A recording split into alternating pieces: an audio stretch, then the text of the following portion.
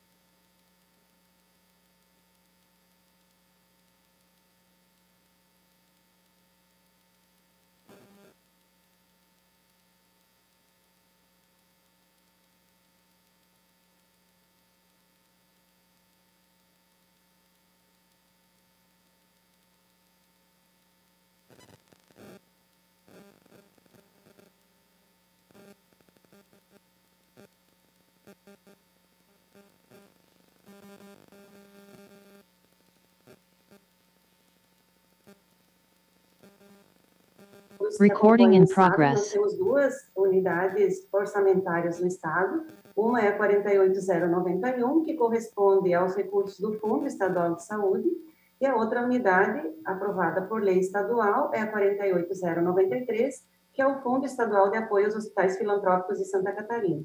Esse orçamento ele foi aprovado na LOA em janeiro de 2022 e na aprovação da LOA nós tínhamos um valor de 5 bilhões 38 milhões 981 mil 315 reais para aplicar que correspondem a 15% do orçamento do Estado para a área da saúde.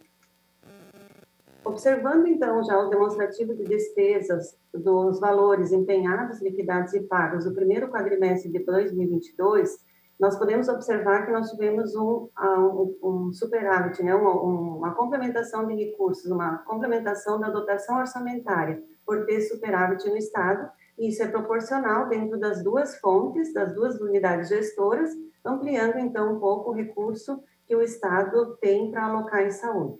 Olhando o percentual de empenho, tanto na unidade gestora do Fundo Estadual, quanto na unidade gestora do Fundo Estadual de Apoio aos Hospitais Filantrópicos e EMOSC, nós temos um valor empenhado para o ano primeiro quadrimestre, ano de 2022, de 40%. Desse valor empenhado, nós temos um valor um pouco maior como liquidado, porque esse quadrimestre tem a particularidade dos restos a pagar. Então, o Estado honrou também com restos a pagar de 2021, o que fez com que o valor liquidado nesse período seja maior do que o valor empenhado.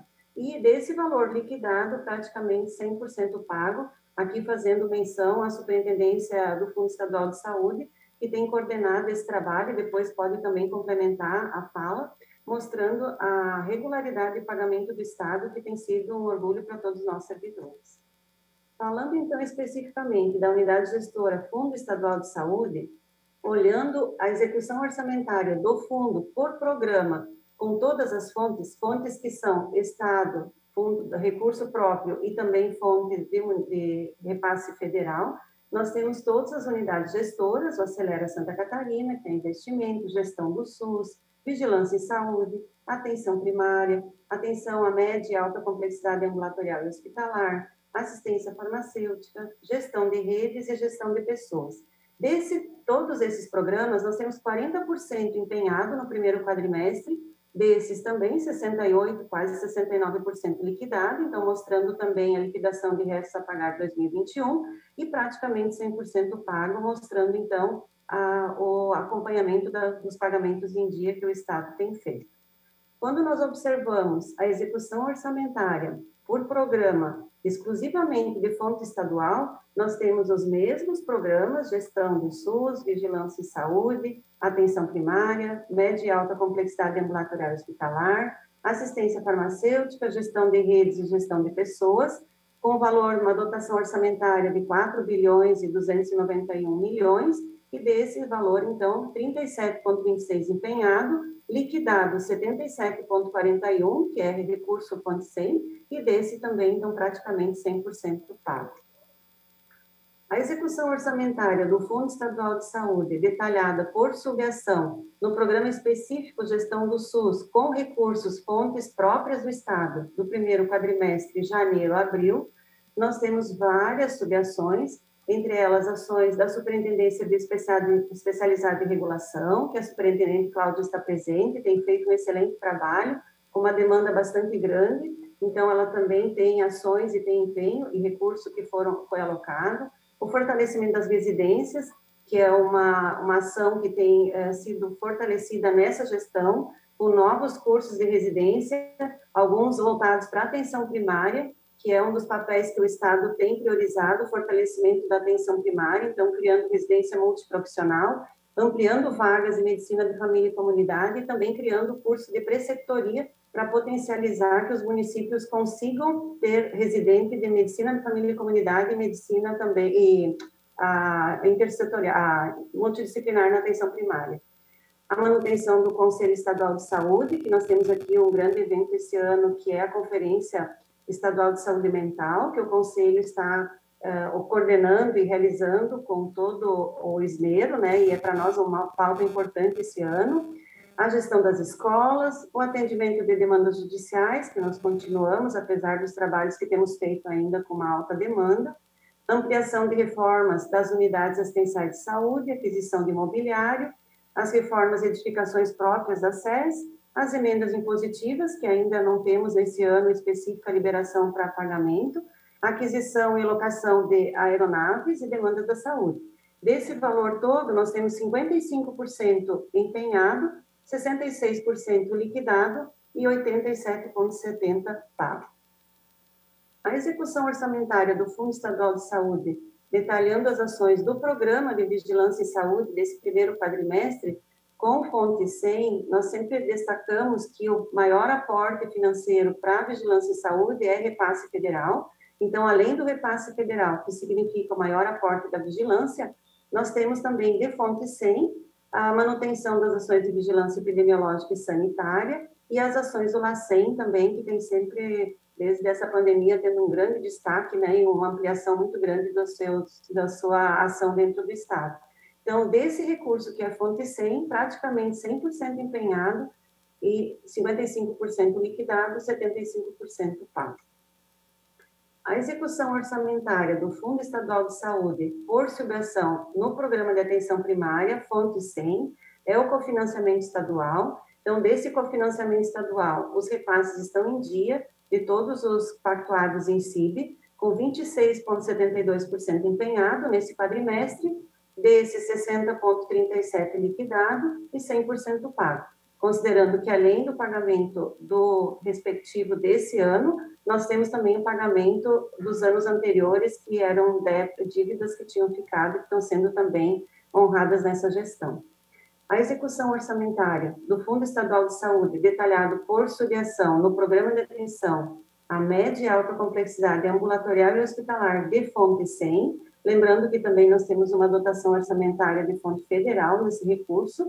Nós temos um acumulado de janeiro a abril de todas as ações, as subações que compõem, então, esse programa, a manutenção das unidades próprias, que é sempre um recurso que a FONSEM envolve um grande aporte, a manutenção de aeronaves, as ações relacionadas a transplantes, que é outro destaque nosso no Estado, nós mantemos né, a liderança na captação de órgãos, e isso é um orgulho para a população catarinense, a manutenção do serviço de atendimento móvel de urgência, que é o SAMU, a realização da telemedicina, que tem avançado também com telesaúde e telemedicina, com, também com uma mudança dentro da pandemia que proporcionou fortalecer esse, esse tipo de trabalho, as ações do tratamento fora do domicílio, que são as ações que o Estado tem para fora do Estado, que é a responsabilidade do Estado, a realização dos procedimentos de PPI, com complementação também do Estado, as cirurgias eletivas, que é uma das ações que o secretário apontou como prioridades agora nesse momento,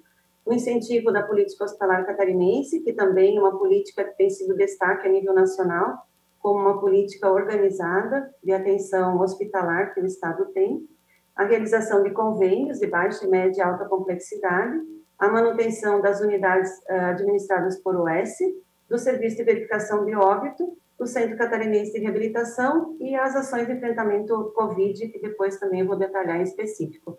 Então, desse montante, 46,78 foi empenhado nesse primeiro quadrimestre, 66,32 foi liquidado e 89,16 pago. A execução orçamentária de outra responsabilidade do Estado, que é da política de assistência farmacêutica, dentro do programa de assistência farmacêutica, nesse primeiro quadrimestre, acumulado de janeiro a abril, nós temos três subações. Um é o componente especializado, que é a obrigação do Estado dentro da política de assistência farmacêutica. O outro é a distribuição do medicamento estratégico para algumas patologias e algumas áreas que são estratégicas dentro da atenção à saúde e outros que é o repasse, então, para a farmácia básica para os municípios. Desse, nós temos também a destacar que nós, esse ano, encerramos a dívida passada de gestões anteriores e ficamos, então, além de encerrar a dívida, pagando regularmente o cofinanciamento do componente básico para os municípios. Nós temos um percentual empenhado 34,49, liquidado 76,41 e pago 92,67. Ah, nós temos uma ação também específica do Estado que é diferenciada no Estado de Santa Catarina, que é o apoio do Estado às comunidades terapêuticas. Então, essa é uma execução orçamentária que nós trazemos no detalhamento dentro do programa de gestão de redes temáticas, do primeiro quadrimestre, janeiro a abril. Nós temos um montante de 9 milhões empenhado para essa subação. São 69 comunidades terapêuticas que são contratualizadas com a Secretaria de Estado da Saúde e nós tivemos nesse quadrimestre 30% empenhado, 66% liquidado e 100% pago, mantendo também a regularidade de pagamento. Agora, a unidade gestora do Fundo Estadual de Apoio aos Hospitais Filantrópicos de Santa Catarina, basicamente, então, essa dotação orçamentária, ela é uh, fonte estadual e ela foi utilizada tanto para manutenção da FAES-CEPOM, né, que é uma da, das, das subações, e a, a subação do, dos filantrópicos, a manutenção dos filantrópicos, que nesse momento está alocado também para cirurgias eletivas. Então, empenhado de 45,20%, desses 91% liquidado e 96% praticamente 100% pagos. Com relação à produção de serviços de saúde SUS, quando a gente compara o primeiro quadrimestre de 2021 para o primeiro quadrimestre de 2022, a produção retirada do Sistema de Informação Ambulatorial do SUS, que é a produção oficial, enviada para o Ministério da Saúde, nós observamos uma produção um pouco aumentada no primeiro quadrimestre, comparando o ano anterior. Então, de 21 mil procedimentos, nós passamos a 23 mil procedimentos ambulatoriais, e o valor também um pouquinho maior do aprovado em 2021, nesse quadrimestre, para o 2022, nesse quadrimestre. A produção hospitalar, que são as internações hospitalares, nós também observamos um aumento do número de AIHs, então processadas, janeiro a março de 2021, 111 mil AIHs, janeiro a março de 2022, 120 mil AIHs. E nós observamos que nós tivemos um aumento dos procedimentos cirúrgicos, aqui também já a retomada das cirurgias eletivas e também um aumento nos procedimentos de finalidade diagnóstica e também de transplantes de órgãos, mostrando uma retomada, então, da, dos procedimentos aos poucos, né, com a diminuição das internações pelo Covid. As auditorias realizadas, nesse período, nesse quadrimestre, nós tivemos cinco novos, cinco novos processos de auditoria, nove uh, processos concluídos e arquivados, três processos encaminhados para órgãos de classe, cinco encaminhados ao Ministério Público, quatro vistorias e auditorias em loco pela equipe central da SES e 24 advertências, notificações emitidas pela nossa diretoria hoje de auditoria. Um cenário, então, desse primeiro quadrimestre, que depois pode ser complementado pelo superintendente Macário com a situação até mais atual. Para o Covid, nós temos, então, de janeiro a maio de 22, a continuidade dos casos, com foco para os casos da população jovem, e olhando o cenário de 1 de maio, que seria o final desse quadrimestre, os óbitos concentrados na faixa etária de mais idosos. Lembrando, então, que a gente tem sempre reforçado a importância das doses de reforço para as populações mais vulneráveis.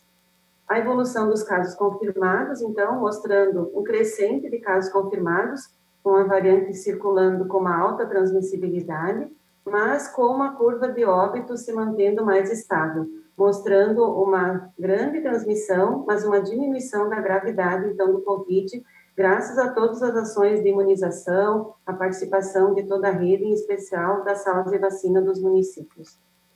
A ocupação de leitos de UTI também mostrou nesse quadrimestre uma diminuição. Então, em 1 de maio, nós tínhamos 66 internações em UTI, 33 desses em ventilação mecânica.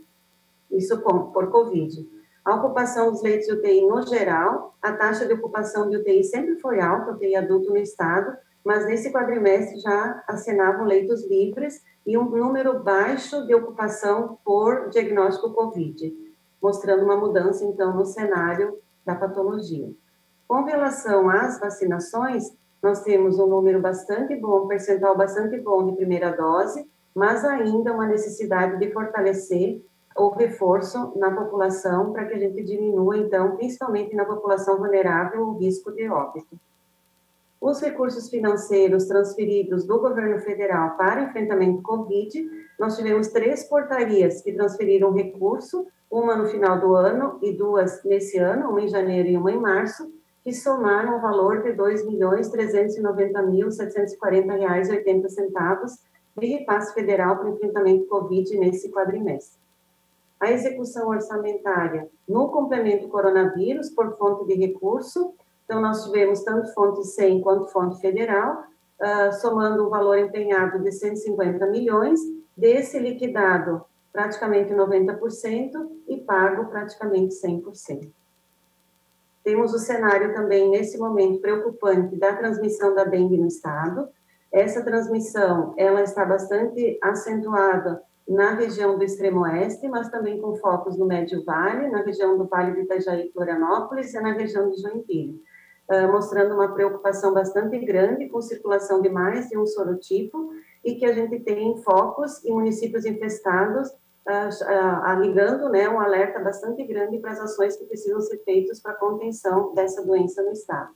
A situação epidemiológica mostrando o comparativo 2021 em azul e 2022 em vermelho, mostrando o pico, né, o alto número de casos confirmados e casos notificados pelo sorotipo dengue V1 né, e V2. Então, dois, dois serotipos circulando, aumentando o risco de agravamento de casos e mortes por dengue.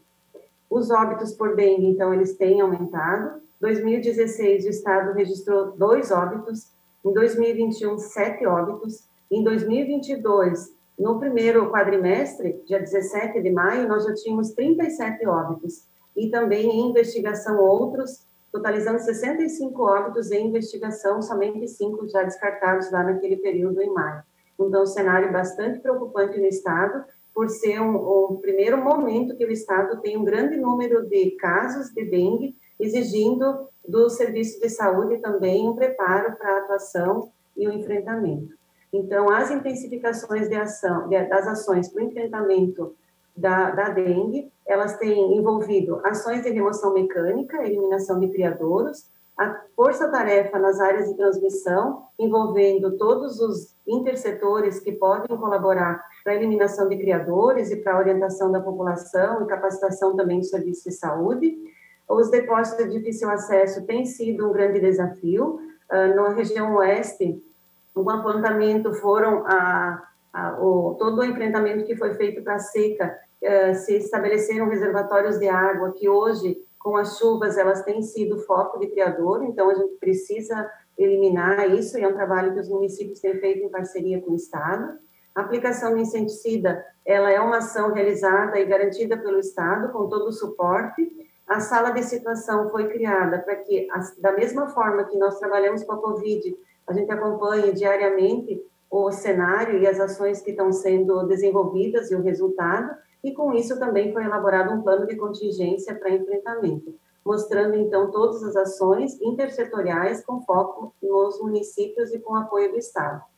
Foram intensificadas então capacitações tanto online quanto presencial, e aqui nós temos o apoio da OPAS, numa grande parceria que o Estado tem nessa gestão, para capacitar os profissionais da atenção primária e da atenção especializada para o manejo clínico da dengue. Essa é uma doença que não exige para grande eh, resolutividade, ações de alta complexidade, ela precisa a eliminação de criadouros e o manejo com diagnóstico adequado e a hidratação precoce na atenção primária e no acesso às unidades de atenção especializada. Então, esse tem sido o grande foco da capacitação e a criação, então, dos centros regionais, aqui junto com a Defesa Civil, na mesma estrutura que tínhamos criado para a Covid, para fortalecer as ações intersetoriais de enfrentamento e ter coordenação das ações. A criação pela vigilância epidemiológica do informe semanal online para potencializar a divulgação do cenário epidemiológico, o apoio aos municípios no controle vetorial e o bloqueio dos focos de Aedes tem sido o grande foco, pela preocupação de que nós entramos agora no inverno, mas o verão vai chegar e o, as larvas, os ovos desse mosquito, eles vivem há muito tempo, né? E podem no inverno provocar um grande pico de casos no estado. Então, a nossa preocupação já planejando as ações futuras e a sensibilização, então, dos gestores municipais, muitos gestores novos que entraram nessa, nesse momento e que precisam também do apoio do Estado e dessa ação que o COSEMES também tem participado para que a gente trabalhe de forma coordenada da área da saúde intersetorialmente para diminuir focos e, com isso, diminuir o risco de um grande surto no próximo verão. Muito obrigada. Eu devolvo a palavra para o secretário Neto para que ele faça a coordenação.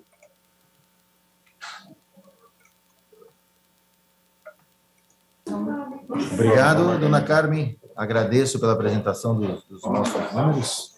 Tá? Eu quero, gostaria de dizer aos senhores né, e, a, e às senhoras que nos assistem, isso tudo é fruto é, de um trabalho em equipe da Secretaria de Estado da Saúde, uma competente equipe, em que o, o nosso núcleo duro, né, o nosso, nossa alta gerência, são cerca de 20, 25 pessoas que têm se dedicado a seguir o planejamento feito no início de 2019.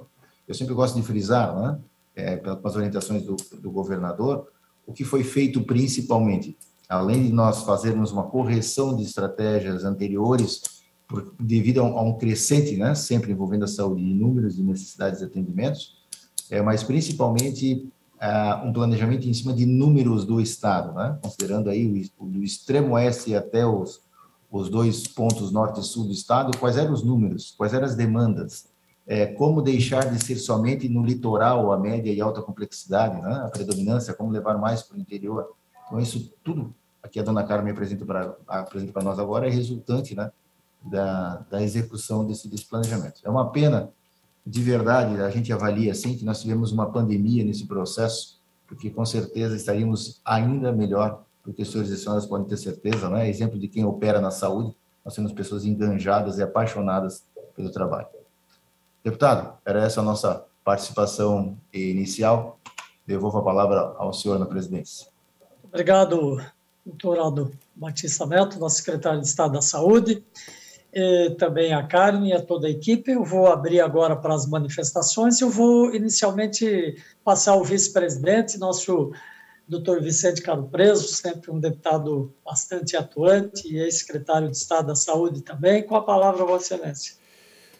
Bom dia a todos, é, parabéns a Carmen pela apresentação e também saudando o, o secretário Aldo Batista, cumprimento toda a equipe.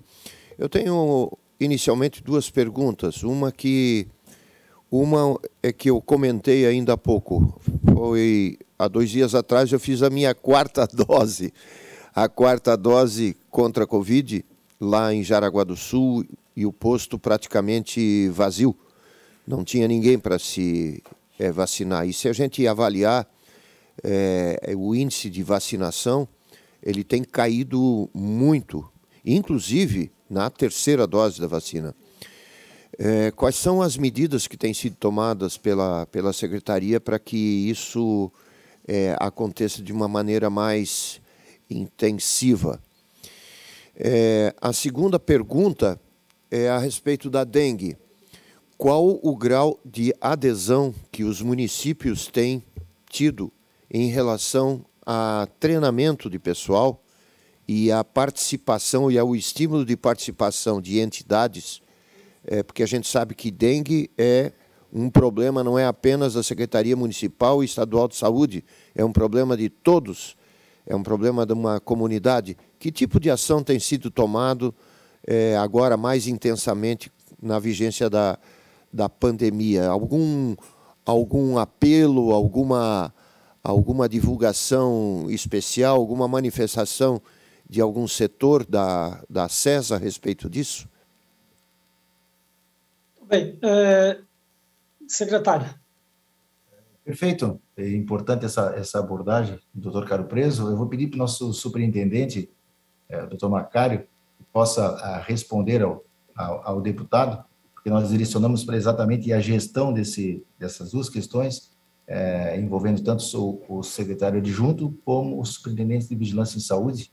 Acho que o doutor, doutor Macário pode trazer informações com mais precisão. Macário, está conosco, por gentileza? Oi, é, bom dia, bom dia, deputado, bom dia, secretário e todos presentes. É, em relação à dengue, é, nós acabamos agora de fazer uma, mais uma rodada de capacitação é, com a participação dos técnicos da Organização Pan-Americana de Saúde no município de Joinville e na região do da, na região norte.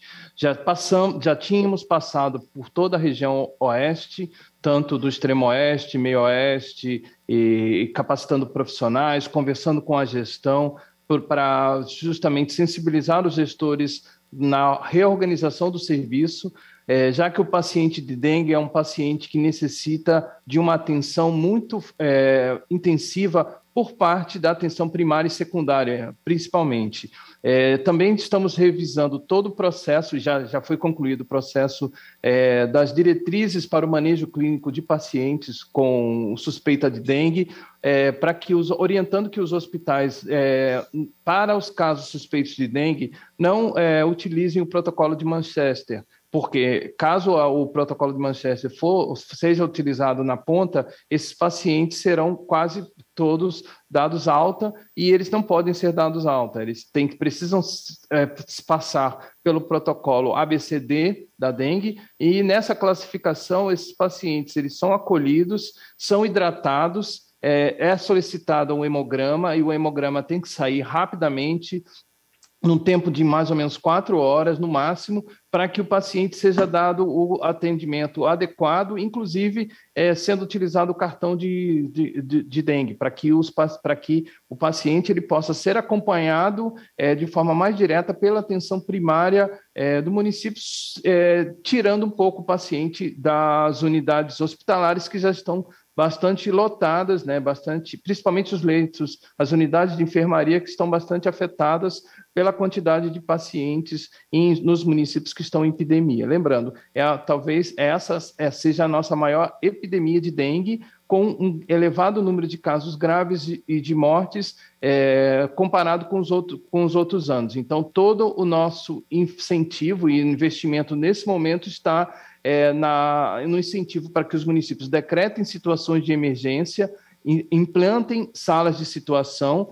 É, nós temos as salas de situação regionais implementadas, mas principalmente que reforcem a assistência e atenção primária e secundária para que os pacientes possam ser acolhidos, atendidos e não evoluam para formas graves, como vem acontecendo em algumas é, localidades. Então, a adesão tem sido boa, é, não só com as, as capacitações presenciais, mas também com as capacitações online mas há uma necessidade de decretação de, de, emergências por parte dos municípios, já que as, as situações elas estão muito localizadas a nível é, municipal, né? as ações de atenção primária são basicamente a nível municipal, e que reforcem as equipes, tanto com profissionais é, de saúde, e aí é, chama atenção, os profissionais de saúde é, mais necessários nesse momento são os técnicos e auxiliares de enfermagem, é, justamente para fazer aquele primeiro atendimento, o primeiro acolhimento, a triagem e possam dar um manejo adequado ao, a esse paciente. Em relação à questão da vacinação, realmente a sua preocupação, deputado, é, é, é bastante pertinente. É, Santa Catarina sempre teve históricos de altas coberturas vacinais e isso aconteceu durante a campanha de vacinação da Covid. No primeiro momento, as pessoas faziam filas e mais filas para buscarem a vacinação contra a Covid, primeira, segunda dose, o esquema primário, mas infelizmente, a partir do início do ano, com o início da vacinação de crianças e de adolescentes, ocorreu uma série de contra-informações, informações equivocadas e muitas vezes fora de contexto, que causaram a hesitação vacinal nos pais e responsáveis e na população em geral como um todo. Então, nós estamos com a primeira dose de reforço para idosos na faixa de 80%, pouco menos de 80%, ou seja, 20% dos idosos que receberam a primeira e a segunda dose é, não voltaram ainda para fazer a primeira dose de reforço, e a segunda dose de reforço, que foi autorizada para pessoas acima de 60 anos, ainda está muito é, baixa. Temos pouco mais de 10, 15% da população acima de 60 anos que necessita fazer a segunda dose de reforço. Lembrando, essas doses de reforço não são porque as vacinas não funcionam, pelo contrário, significa que o vírus é, é, sofreu mutações, nós temos um vírus diferenciado, né, é, uma subvariante da Omicron que tem afetado boa parte do estado, não tem causado tantos casos graves, porque existe uma boa parte da população protegida, mas as poucas pessoas que estão sendo hospitalizadas e que infelizmente ainda morrem por Covid são aquelas que não receberam a dose de reforço, principalmente idosos e, é, que, e principalmente também a pessoas com doenças crônicas. Então, é, nós estamos trabalhando no sentido de comunicar, informar a população e os municípios estão sendo incentivados a que é, permaneçam fazendo, realizando a vacinação com dose de reforço de toda a população. Obrigado, doutor Eduardo Macário, sempre atencioso. Ainda com a palavra o deputado Caro Preso. É, é muito boa a sua explicação, o secretário e o doutor Eduardo. É, lembrando que duas coisas são, são importantes, é, dois, dois aspectos que eu gostaria de. Uma, uma é, um alerta, a segunda é uma é, pedido de, de uma explicação comparativa, como é que está Santa Catarina em relação aos outros estados da nação, em termos dessa terceira dose, e, é lógico, da quarta dose, existe uma análise comparativa nossa em relação aos outros estados. E segundo, é uma constatação. Em 2015, nós enfrentamos uma, um, um problema previamente é, esperado é, em Balneário Camboriú e também no extremo oeste, lembra? No foco era Pinhalzinho, Balneário Camboriú e Itajaí. Em 2014, quer dizer, 2015 nós fizemos uma audiência pública aqui e depois de uma avaliação muito boa e uma, um, um, mergulho da, da Secretaria de Saúde Civil, que os cuidados primários de prevenção da dengue falharam. Eles, isso não estaria acontecendo novamente agora, doutor Eduardo? O cuidado do controle de focos? Doutor Eduardo. Então, é, em, comparando com os outros estados, é, nós estamos, nós, como a, quando a gente fazia a dose, o esquema primário, Santa Catarina era um dos primeiros estados em coberturas, tanto que a gente disputava é, no, é, nos três primeiros lugares é, de pessoas sendo é, vacinadas. Infelizmente, com a dose de reforço, é, nós caímos muito nos índices de, de, vacinação. Nós somos um dos, nós caímos para aproximadamente a décima posição entre os estados com melhores coberturas de dose de reforço. A dose de reforço para os idosos, a gente ainda conseguiu alcançar os 80%, mas para a população em geral, pouco mais de 50%, ou seja, metade das pessoas acima de 18 anos que receberam a, o esquema de é, primário com duas doses ou dose única voltaram para fazer a dose de reforço. E é fundamental, já existem estudos mostrando que, com o tempo, após quatro, cinco meses da dose de reforço do esquema primário, é, a imunidade começa a reduzir e a dose de reforço justamente é, é, serve para prolongar essa, essa é, proteção e principalmente das pessoas mais vulneráveis. Então, nós não estamos é, bem, né, nós temos trabalhado muito na questão da para tentar reduzir a hesitação vacinal da população catarinense, mas é um, gran, é um longo trabalho porque é, a, a, a, disseminação de notícias falsas, a, o descrédito contra a vacinação tem causado efeitos negativos não só na vacina da Covid, mas também nas outras vacinas. Nós estamos com baixas coberturas também para sarampo, para gripe. Nossa campanha de vacinação da gripe alcançou pouco mais de 50% de cobertura, e aí o senhor bem sabe, eh, deputado, que Santa Catarina sempre foi um dos primeiros estados com maiores coberturas vacinais de influenza, tanto que aqui no estado eh, nós já tivemos mais de 28 óbitos por influenza H3N2 e a nossa vacina protege essa população. Infelizmente, os grupos prioritários ainda estão é, poucos sendo vacinados, há uma pouca é, procura de, né, nessa população, além de outras doenças que estão com risco de surgirem, por exemplo, sarampo, poliomielite, é, difteria, pneumonia e até mesmo meningite. Então, são situações que nós e aí nós pedimos apoio também ao parlamento na questão da divulgação para que nós consigamos trazer o resgate da confiança da população no programa nacional de imunizações que tanto fez é, que tanto sucesso alcançou ao longo dos últimos anos. Especificamente em relação à dengue sim nós temos visto ainda é, que por conta principalmente da, desses dois anos da, de pandemia houve uma desmobilização dos agentes de combate à endemia e dos agentes comunitários de saúde e também de alguns municípios em relação à ação que é, deve ser feita em relação a, a, ao controle dos focos e dos criadores do mosquito Aedes aegypti. Até porque, deputado, é, as, é, for, durante um tempo foi proibida a entrada de pessoas, né, de agentes nas residências, justamente para não haver a disseminação é, do coronavírus. É, desde o ano passado, mais ou menos em novembro, quando nós fizemos o nosso, é, nosso inquérito de índice de infestação, nós já estamos alertando a todos os municípios sobre o risco, nós estamos com índices de infestação é, grandes, e antes mesmo de termos casos, já alertamos a todos os municípios sobre a, a, o risco de termos uma epidemia, o que infelizmente tem se confirmado agora, é, no, no, o mesmo com as temporadas de frio que estão acontecendo agora, nós ainda temos um risco muito grande de, de, de aumento de casos, e principalmente de mortes, não só nessa temporada, como a preocupação para a próxima temporada que virá é, em novembro, já que o número de, de focos é, é muito grandioso. E só para finalizar, semana que vem nós estaremos recebendo mais uma equipe da Organização Pan-Americana de Saúde e do Ministério da Saúde, porque nós queremos implementar em Santa Catarina uma nova tecnologia de estações disseminadoras de inseticidas,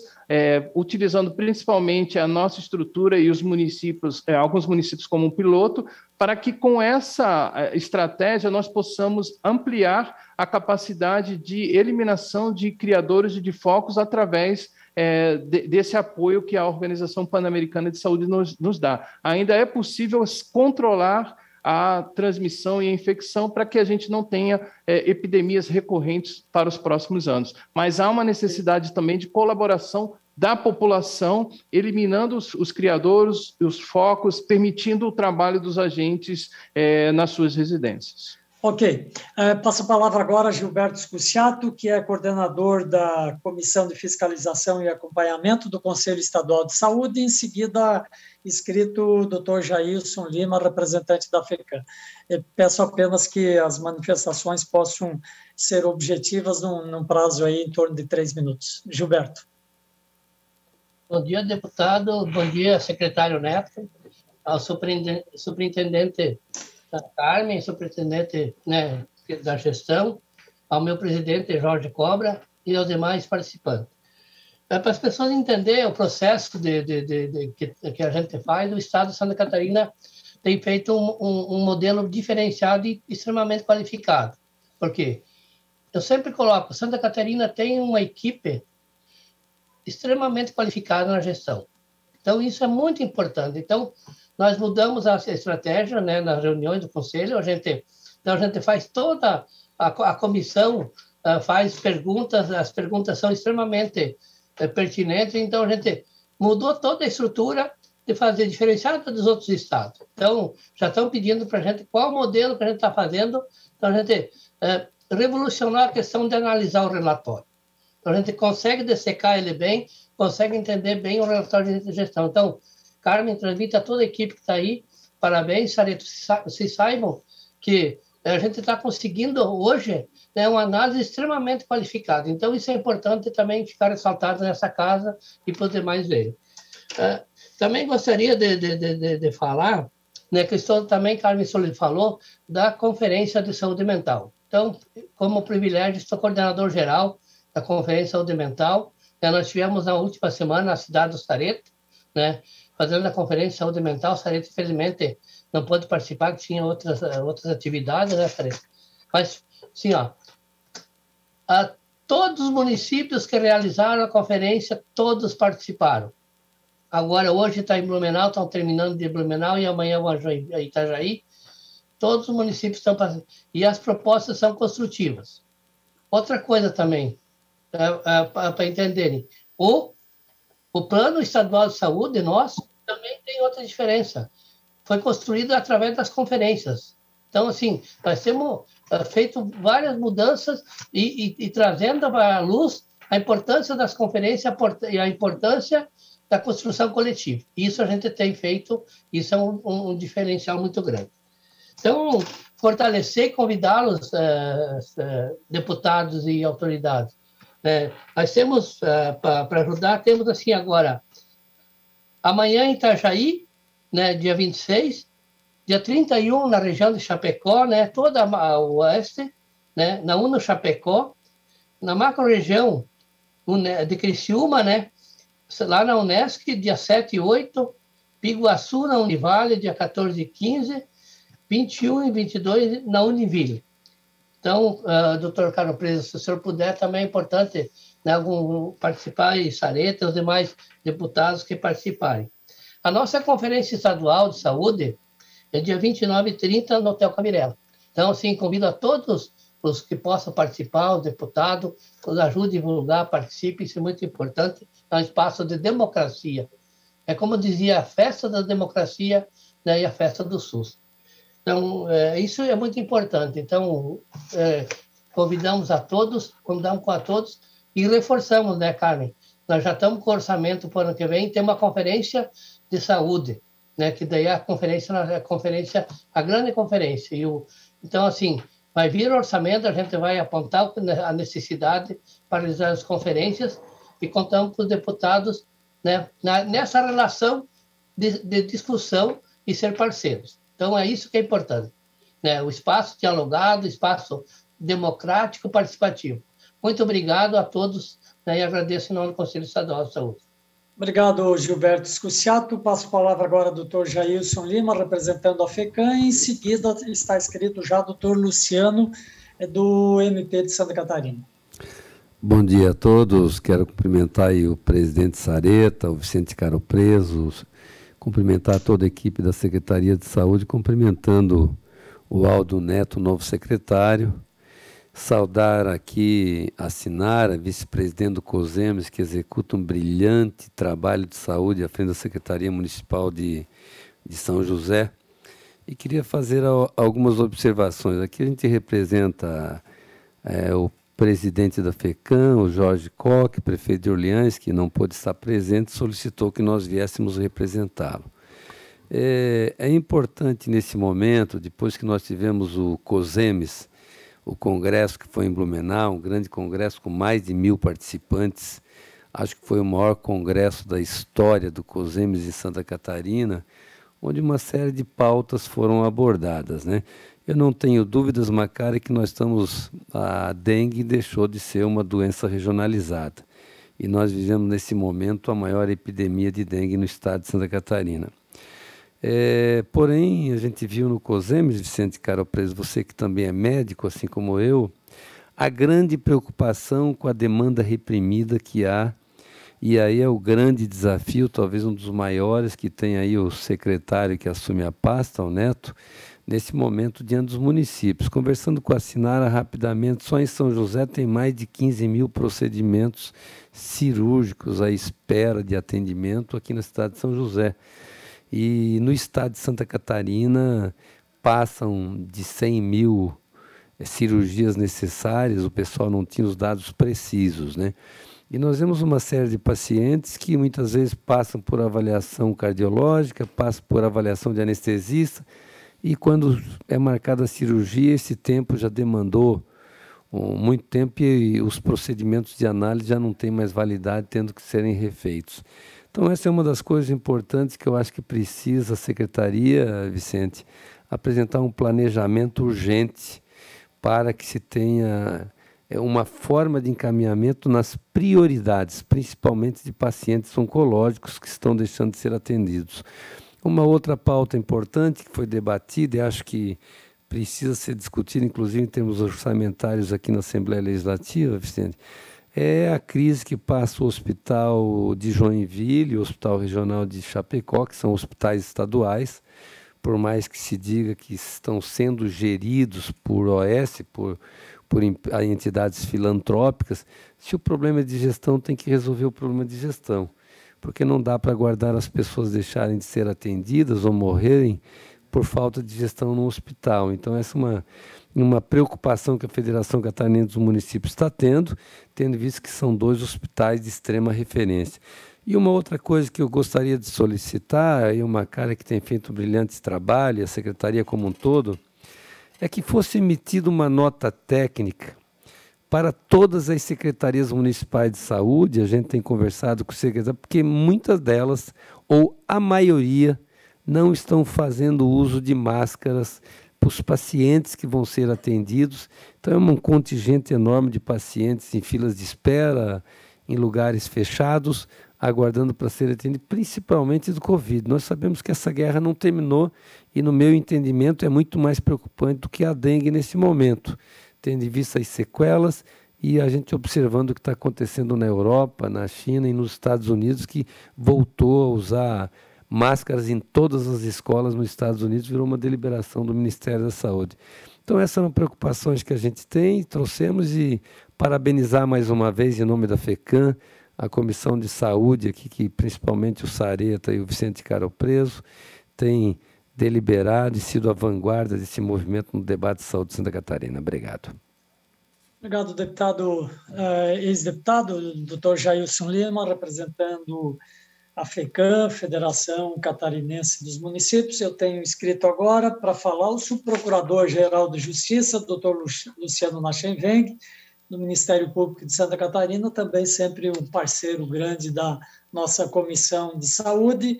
E, em seguida, já escrito também o doutor Fábio Oliveira, que é Procurador Regional dos Direitos do Cidadão da Procuradoria da República Santa Catarina. Doutor Luciano Nachenveng, com a palavra. Bom dia a todos. Queria inicialmente cumprimentar o deputado Sareta, presidente da Comissão de Saúde da Assembleia, cumprimentar também os deputados aqui presentes na, na reunião, cumprimentar o secretário Aldo Batista Neto, desejar boa sorte nessa nova empreitada. É, cumprimentando Vossa Excelência, também gostaria de cumprimentar a sua equipe e parabenizar aí pelo, pelo apresentação do, do relatório. É, secretário, eu teria um questionamento direto ao senhor, é, referente é, pelo, pela, assim, pela, uh, o que o Ministério Público entende, né, que seria o tema do momento hoje na área da saúde, né, que seriam os leitos de UTI é, pediátricos e neonatais e as filas de espera. Né? Então, a minha pergunta é no sentido de quais as ações concretas e de planejamento do Estado para resolver esses dois problemas. Né? No caso, os leitos de UTI é, pedi pediátricos e neonatais e as filas de espera. É isso, secretário. Obrigado. Obrigado, doutor Luciano. É... Vamos, vamos ouvir o doutor, uh, doutor Fábio de Oliveira, em seguida, então, pode ser? Doutor Fábio de Oliveira, do Procuradoria da República de Santa Catarina, com a palavra. Obrigado, deputado Sareta. Cumprimento ao deputado, presidente da Comissão de Saúde, a pessoa de quem eu cumprimento todos os demais parlamentares que aqui acompanham essa reunião e os demais presentes é, também os servidores, secretário de saúde. Faço aqui meus cumprimentos a todos e sem me alongar muito, tentando ser bem objetivo, eu sempre costumo selecionar um tema é, de intersecção, sobretudo com a atuação da União, né, do Ministério da Saúde, porque, por óbvio, é, é, isso diz respeito mais intrinsecamente à atribuição do Ministério Público Federal, então é mais nos interessa essa, esse tipo de, de abordagem. E na audiência de hoje, eu gostaria de, até porque já foi levantada a questão da dengue, o problema que nós estivemos enfrentando com relação à dengue, eu gostaria de abordar um aspecto específico que vem a ser a questão dos exames da, diagnósticos de dengue. Né, os exames, sobretudo exames uh, laboratoriais que venham a ser feitos ah, para testagem né, e confirmação de diagnóstico de dengue, e eu diria não só de dengue, mas outras doenças correlacionadas, via de regra, acabam sendo transmitidas pelo mesmo vetor, né, a chikungunya, zika vírus, enfim. É, nós sabemos que há a notícia de desabastecimento nesses exames, nessas testagens. É, e aqui me parece que haveria uma omissão ou uma falha, mais uma falha por parte da União, por parte do Ministério da Saúde. Então, eu gostaria de saber, gostaria de informações da Secretaria de Saúde, em que estágio nós estamos no dia de hoje. Qual a situação dos exames, da testagem, é, até por, pela importância dessa testagem, não só para diagnóstico do paciente, mas, sobretudo, para que a gente tenha uma percepção de dados epidemiológicos, de como que a doença está se alastrando, quais os focos, os pontos mais problemáticos. Talvez possamos, possamos estar perdendo informações preciosas de focos de contágio é, por exames que não estejam sendo realizados. Essa preocupação que o Ministério Público Federal apresenta na audiência de hoje. Teria muito mais temas para abordar, naturalmente, mas eu vou focar nesse apenas, deputado. Muito obrigado, agradeço pela oportunidade. Obrigado, doutor Fábio de Oliveira, eh, procurador regional dos direitos do cidadão. Eh, tanto o doutor Fábio quanto o doutor Wenger levantaram questões importantes. Eu passo, então, ao secretário Aldo a palavra para Vossa Excelência para eh, discorrer sobre esses questionamentos e essas questões levantadas pelo, pelo doutor Luciano e pelo doutor Fábio. Perfeito, deputado. Eu gostaria, eu vou fazer o seguinte, a pergunta do Dr. Nashvin, eu vou, eu vou responder com os números que nós temos dentro da estratégia montada e vou pedir depois que, é, que o Dr. Macário responda ao Dr. Fábio, por gentileza. Então, é, Dr. Nashvin, é, Santa Catarina possui hoje à disposição 157 leitos de UTI neonatal habilitados pelo SUS e 99 pediátricos. Esses números, eles, nós nunca tivemos assim uma grande disponibilização, digamos, a gente sempre comenta uma gordura, né, que nos permitisse é, trabalhar de forma mais tranquila, mas eles sempre estiveram dentro de números aceitáveis e dentro que cobriam a estratégia, inclusive exigidas pela legislação. Né, um exemplo, os leitos de ITI e NEL são muito relacionados a nascidos vivos, então nós sempre tivemos dentro dos números necessários.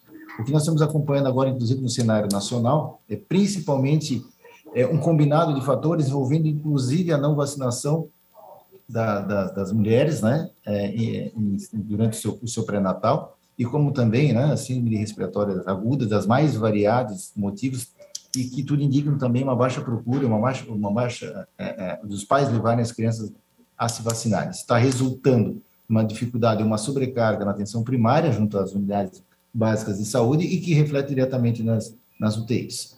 Tá? Então, o que, que nós fizemos, só para o senhor ter ideia, que está dentro do nosso planejamento? Cinco novos leitos de cuidados intermediários neonatais no Hospital Regional de São José. O intermediário nos possibilita um giro maior, né, no que diz respeito aos leitos de UTI.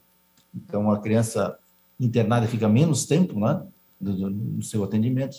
Ações de andamento de até 20 dias. Custeio da Secretaria por meio de convênios. Ampliação de seis leitos de UTI pediátrica no Hospital Pequeno Anjo em Itajaí Ações de andamento em até 45 dias, custeios pela Secretaria, mais quatro leitos de UTI neonatal no Hospital Regional do Alto Vale, e ainda as possibilidades de ampliação em até 45 dias de operação. Dois novos leitos na, na no Hospital Pediátrico Maternidade de Araguá do Sul, é, Hospital Jéssica Amarantes, com sete, a possibilidade de abrir sete leitos em até é, 60 dias. É, Criciúma, com 10 leitos de UTI entre 60 e 90 dias. Tá? Isso passa por investimentos, principalmente é, pelo, pela uma indenização diferenciada de forma emergencial para esses leitos ampliados. Só que a maioria dos hospitais, por isso que aqui nós temos prazo de 45 e 60 dias, refere à obrigatoriedade de alguma intervenção de reforma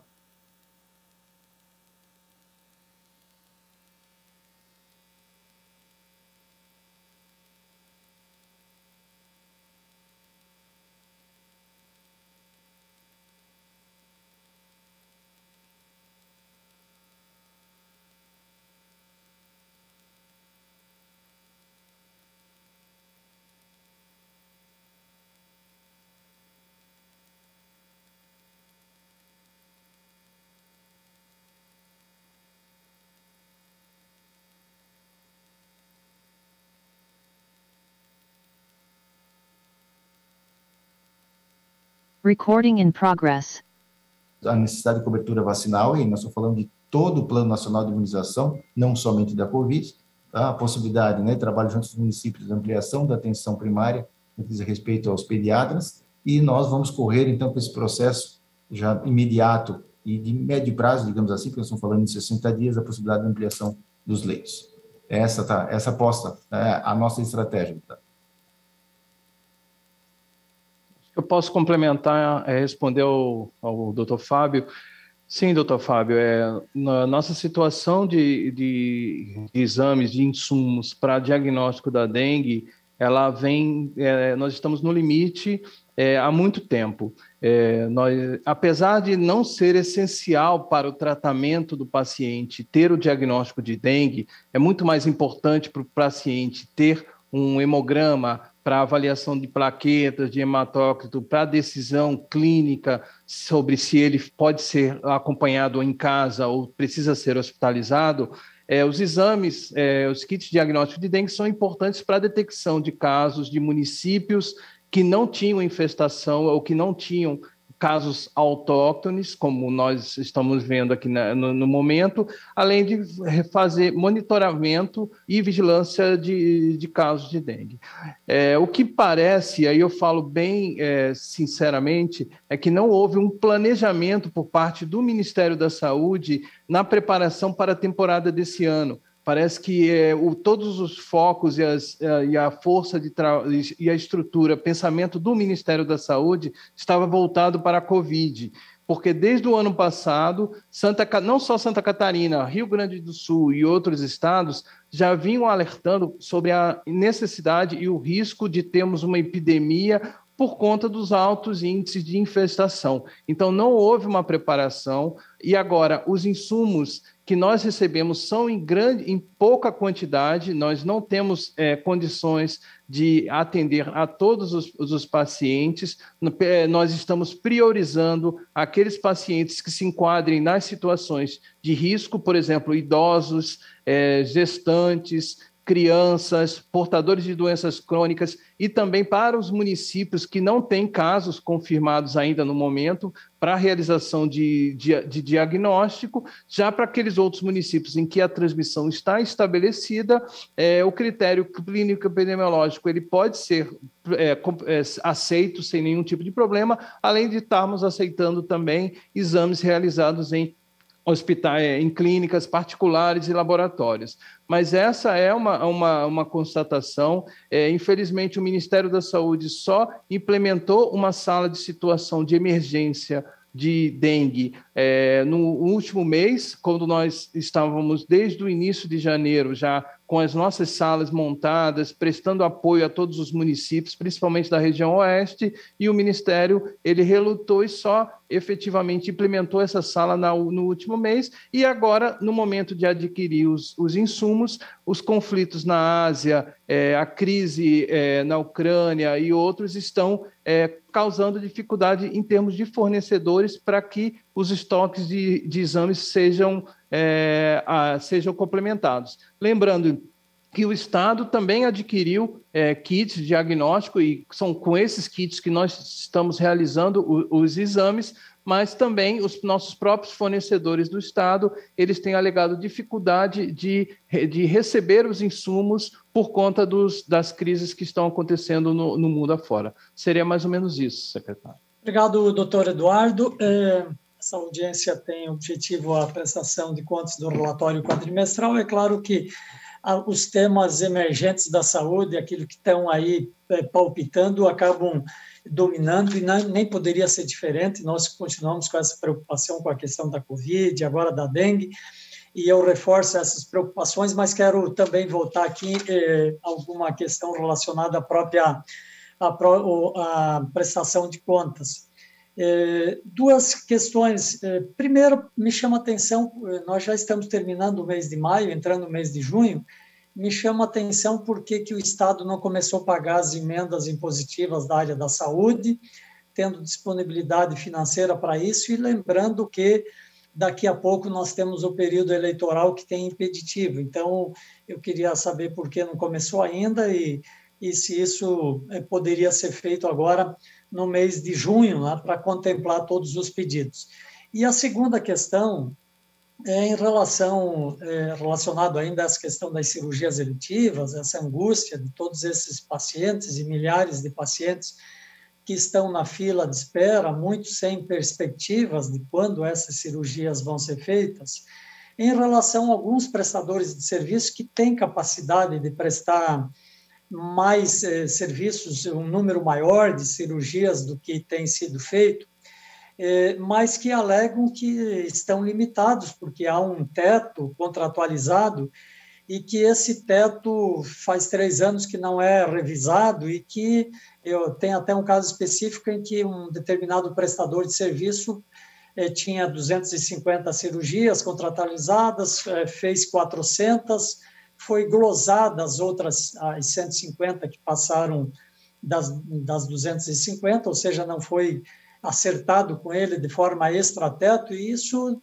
isso dá um sinal bastante é, preocupante no sentido de que se a gente ficar só com esses números de cirurgias que a gente está fazendo, embora eu reconheça aí todo o esforço da Secretaria de Estado da Saúde, essa fila ela não vai diminuir, ela tende inclusive a aumentar. Então, eu queria fazer esses dois questionamentos que julgo importantes para esse momento. Perfeito, deputado. Eu vou falar, vou pedir com relação às eletivas, que a dona Carmen, que faz, que sua equipe faz esse controle, que pudesse dar para nós um, um, panorama, por gentileza, dona Carmen. Sim, secretário. Uh, com relação à última fala do deputado Neudir Sareta, os contratos que são do Estado e da maioria dos municípios também, eles têm duas modalidades de oferta de cirurgia.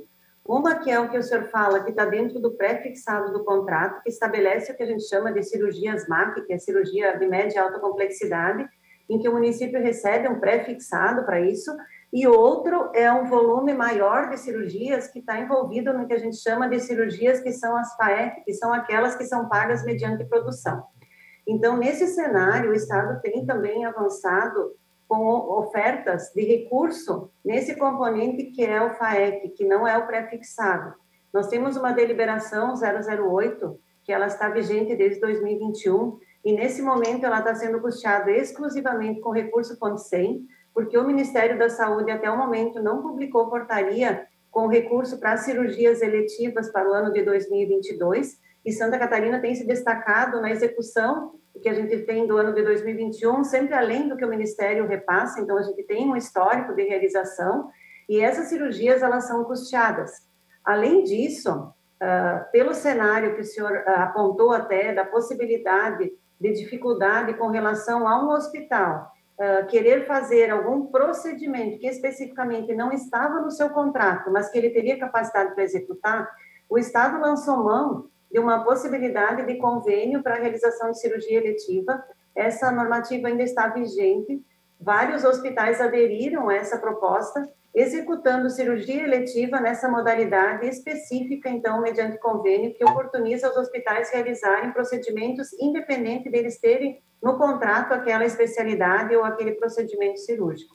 Então, a política hospitalar também, nesse ano, ela tem o eixo de cirurgia eletiva, especificamente alocando novos recursos com base na deliberação 008, que são procedimentos pactuados em CIB de acordo com a fila de espera do Estado, porque o objetivo é tirar as pessoas da fila de espera, e esse procedimento cirúrgico dentro da política hospitalar, ele é além do que já tem hoje contratualizado, ele é, vai ser colocado em todos os contratos no FAEC, e ele é pago também mediante produção, com todo o recurso que o Estado tem, né, inclusive com contribuição da Alesc, para cirurgias eletivas. Então, as modalidades são mais de uma ofertada, não limitada ao que tem no contrato, para que a gente possa ter sim a oferta.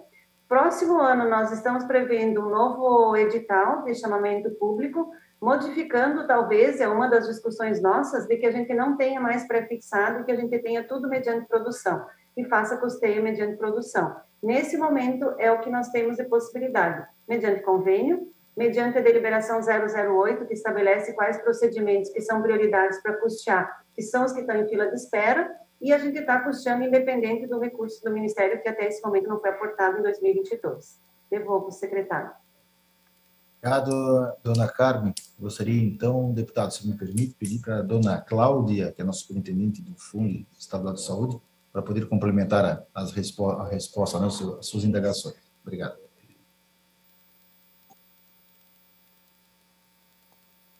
Bom dia, senhores. Com Bom relação dia. aos questionamentos que o deputado fez com relação às emendas impositivas, então nós, nós tivemos uma programação inicial de 30, em torno de 33 milhões para as emendas impositivas da saúde para este ano. Ela já ocorreu com suplemento e ela está em torno de 58 milhões. E elas ocorrem, senhores, em duas modalidades. Nós temos a modalidade de convênios, quando as emendas impositivas elas estão direcionadas na LOA para os hospitais filantrópicos, para as entidades filantrópicas que estão beneficiadas. Isso ocorre via convênio, e os convênios eles estão sendo celebrados. A gente tem uma multa empenhada nesse momento de 4 milhões e meio para empenhado em torno de 800 mil reais, que são os convênios que estão caminhando para suas execuções. a grande monta de repasse das emendas impositivas estaduais, elas ocorrem por intermédio de repasse fundo a fundo do Fundo Estadual de Saúde para o Fundo Municipal de Saúde. E como isso ocorre? Elas ocorrem com publicações da Secretaria de Estado da Fazenda das portarias nas quais a Secretaria de Estado da Saúde, com a autorização da Fazenda e da Secretaria do Secretário de Estado, nós fazemos a, o processo técnico. Eu não tenho neste momento, mas eu posso estar verificando para passar para os senhores qual é a programação dos repasses fundo a fundo das emendas impositivas.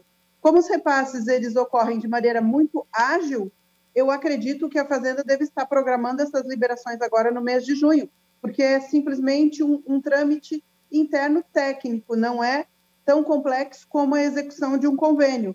Então, nós estamos nesse momento aguardando a orientação da Secretaria da Fazenda e eu posso estar verificando para os senhores qual é a programação que nós temos das portarias. Ok, obrigado. Eu peço que seja visto, então, exatamente isso.